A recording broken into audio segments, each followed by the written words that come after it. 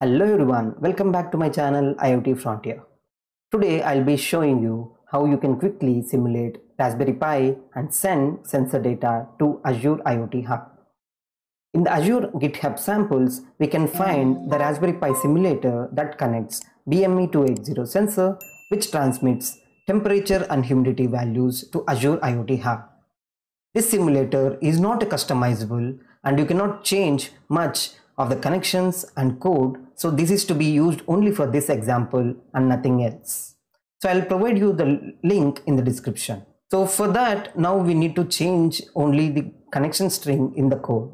So the code has been written with the Node.js example. And in the Node.js example, it is trying to use some of the libraries and try to send the data, which is temperature and humidity values.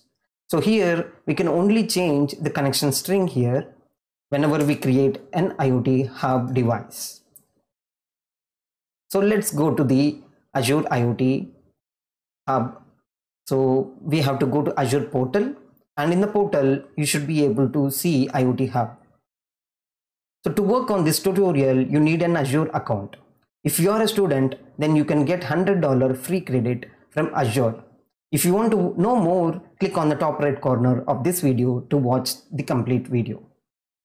And also, if you're not a student, then you can also get a $200 free credit and by creating a free trial account and that also you can click on the top right corner.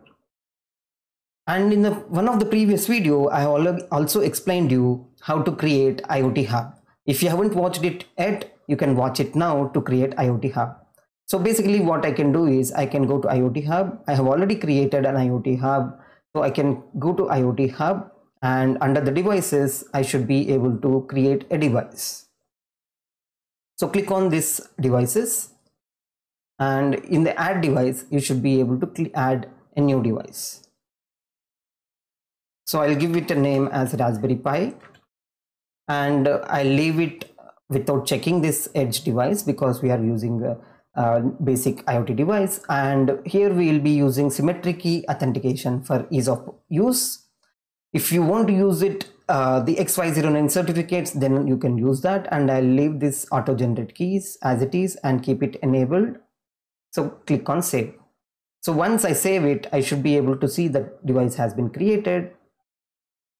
And if i go to the device i should be able to see some primary keys and uh, secondary keys which are for authentication purpose has been created. The, the interesting thing that we need is the primary connection string this primary connection string has the host name, device ID and shared access key that is primary key.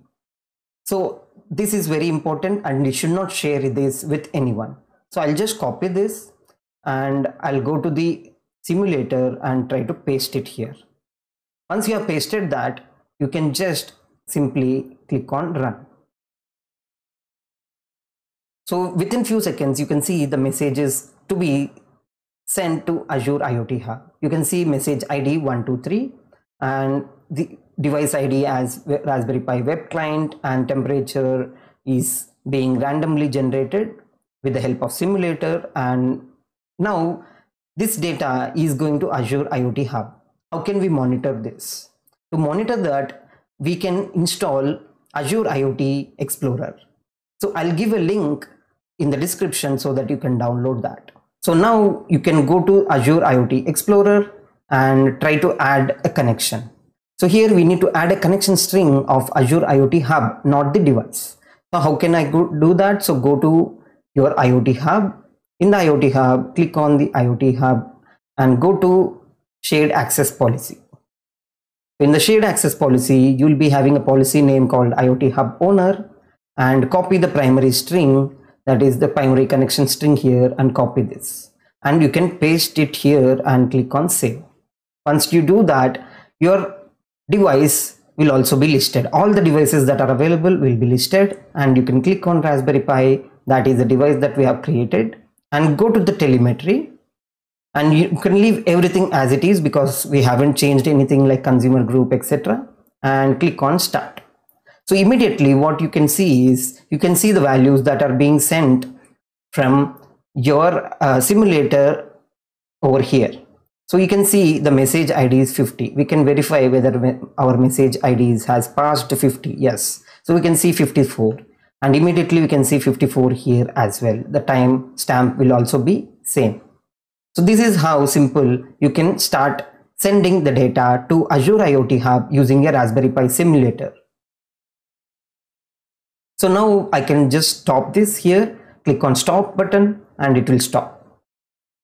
That's all for today's video. I hope this video is informative and has helped you understand on how to quickly use Raspberry Pi simulator to send sensor data to Azure IoT Hub. If yes, please type helpful in the comment section below. Your support means a lot to us and helps us keep creating content like this. So please subscribe to the channel and like this video. Thank you for watching and I'll see you in the next video.